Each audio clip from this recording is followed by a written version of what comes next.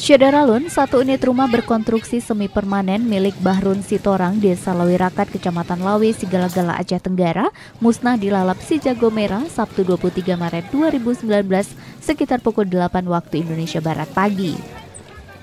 Api dengan cepat melahap bangunan tersebut sehingga ekses kebakaran terpaksa satu rumah dirusak agar api tidak menjalar ke bangunan lainnya. Musibah itu diduga akibat korsleting arus pendek dan kerugian ditaksir mencapai ratusan juta rupiah. Api baru dapat dipadamkan setelah satu jam warga secara bergotong royong menyiram air memakai ember. Tak lama api berhasil dipadamkan, mobil pemadam kebakaran datang. Namun karena terlambat, masyarakat marah dan menyuruh petugas untuk pulang. Walaupun petugas sempat menyiram bangunan yang musnah dilalap si jago merah itu karena tekanan air dari selang mobil tersebut tidak maksimal.